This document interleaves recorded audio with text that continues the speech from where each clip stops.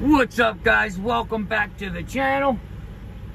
It's your boy Hotshot coming back with you. If you're interested in trucking, making money, be successful, make sure you hit that like button and make sure you ding the notification bell so you get notified when we drop knowledge. Now let's roll on into this content. What's going on with my road hammers? So today I'm gonna do a um we're gonna do a response, but a, not a full response. Like I'm not gonna show the video and talk about it and all that, but we're gonna we are gonna talk about the Loadmizer hot shot to semi video. Um because apparently a lot of us that are moving up to semis have gotten the new hot shot people worried that the hot shot market is going to be extinct, like it, that it's in trouble. So part of that may or may not be true. Uh, I'm not going to sit here and tell you that all hot shots are going to fail. I'm not going to tell you that if you drive a pickup truck, you're not going to survive. I'm not going to tell you if you buy a semi that it's because you don't know what you're doing. Like, that's not what goes on here. So, let's talk about, first of all, Loadmizer and his videos. Loadmizer is my boy. Love him to death. He's cool. There's nothing wrong with him. So, and what he's uh, experiencing right now is what I have said multiple times in my videos. He is living the car haulers industry. He, he's car hauling now. He's hauling three cars with a wedge around the country. Doing very well. Now, the problem with going back and forth or even talking like that is he is referencing freight but comparing it to what he's doing right now in cars and you cannot do it. Cars you're going to get a lot a lot of repeat business. Customers dealers direct. Freight? Yes and no. You can if you stay local. Like if I want to run Delaware, Jersey, Pennsylvania, then I can run local stuff. Now, I, I could, I guess, like I'm up here in Buffalo, New York now. I mean, I guess I could get a direct up here going back home, vice versa. But normally when you do directs, you keep them in your area. And when it comes to freight, unless you have multiple trucks, or you're not really doing anything else, it's hard for people to grasp the concept of direct, using you direct, because they, it's all about efficiency. So, let's say I have five loads that need moved. One needs to go to Jersey, one needs to go to Georgia, one goes to Tennessee, and then we got two other Midwest states. Well, it's easier for me to send an email to Joho Joho Logistics, the brokerage, and say, I got these, can you get them covered? Rather than call Hotshot, call Loadmizer, call Chris, call whoever, and call South Georgia. Now, do you see what just happened there? That five minute email turned into probably two hours of phone calls, you know, um, roughly. So, companies, that's why they use brokers. Um, now, what happens is the brokers get greedy and when the load doesn't get moved because they're trying to hold back, that's where the problem lies.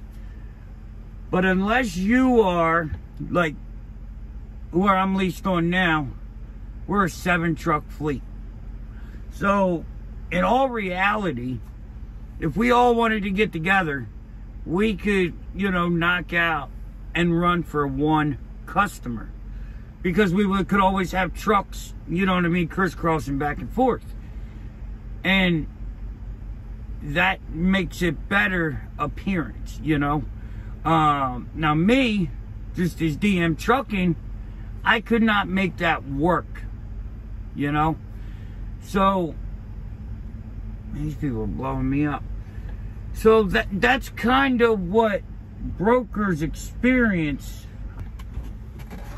That that's the whole problem with getting direct customers. And like I have a couple direct customers and eh, with cars, you know, but it was difficult because unless you're working from dealer to auction, like somebody, you know, charges to give you the information for, you, you can't really take care of all the cars. Like I have a guy, my Range Rover guy, um, that he is, uh, he sends them all over the country. He sends them to Florida, sends them to Texas, sends them to Buffalo, you know, and all that. And that, I kept up with it all, but it got tough. And at times it did cost me money, but that was fine because he paid very well and he took care of me very, very well.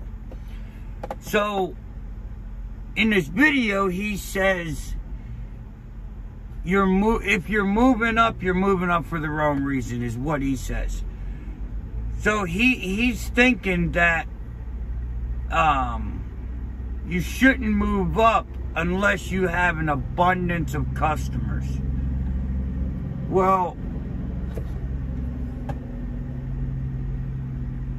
oh, hold on, that was a broker.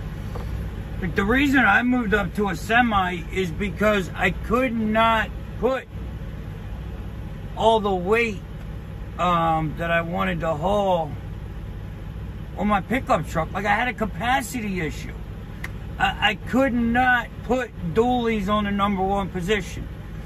Um, and then, you know, I got into that and I, I just started looking around and that's how I ended up in the dry van. Not because cars were failing, um, not because as a hot shot I wasn't making a living, but I wanted something different. Like, I get bored easy. That's a problem with me. So, the, you know, the people are saying that if you go to a semi, you're going to fail. You're going to fail because you're in a semi. Look, it, it's this simple. You're going to fail in a hot shot. You're going to fail in a semi if you're going to fail. Like, if you've made through four seasons, if you made a full year in a hot shot, then you've probably got a good idea what, and I know I'm saying this is gonna eat my eat my feet because there's some people that even after three years are just grabbing straws and making it work. But for the most part, if you um you made it through and you have money, like if you're able to just go out and buy one, you've obviously done something correct. Um, so to to say that you buy a semi, you're setting yourself up, you're getting into more debt. That that's not the case. I'm in less debt with a semi than I was with a a hot shot. And what, you know, kind of throws that off is you can't really buy an old, and I mean like an older, um, pickup truck and do the same thing as these new pickup trucks do. You, you just can't do it. Trucks don't work that way. Now, I could buy an old semi and do the same as this brand new Kenworth or this brand new um, you know, Western Star over here. Like, that's possible. So, they haven't made semis um, different capacity wise in 20 or 30 years. Pickups, they do. So, you have to keep up with the Joneses in a hot shot setup, in my opinion. It's 100% my opinion. You got to keep up with the Joneses or you're limited. That's not the case in a semi, you know. Um, what is this guy doing? He don't know. So, you know, if you're you're tired of living in a pickup truck, you're tired of chasing loads under 9,000 pounds, 10,000 pounds, um, you know, get, get a big truck. Get a big truck. Just because we change does not mean the industry's dying. There's still money in hot shots, but hot shot, I'm telling you guys, and I've told you for years, it's a startup. Like you can only grow so far in a hot shot. And Loadmizer, he's seen that. He went from his flatbed to cars because flatbed was not working. Flatbed freight wasn't working for him. Cars are working, you know, and he's using load board freight. He's doing load board and he's doing, uh, you know, direct customers. He doesn't have just one or the other, you know. So, guys, don't let what we do discourage your future plans. And all any of us are is educations and opinions.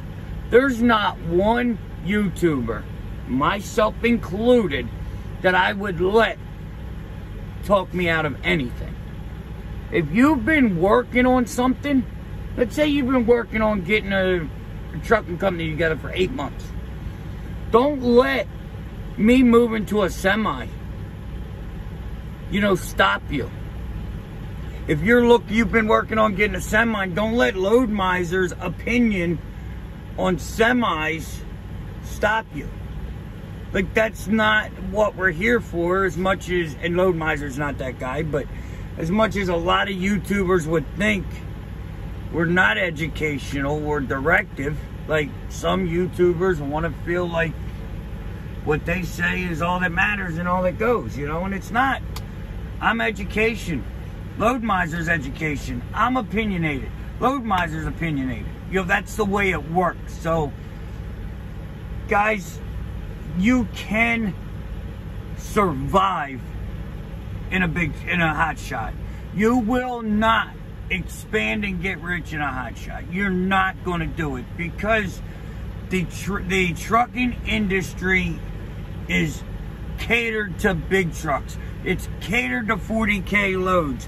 It's catered to 53 foot dry vans with a swing door for that market. Like I get a 48, I'm limited. I get a roll door, I'm limited. Do you know why? Because it's catered. So just do what you feel is best.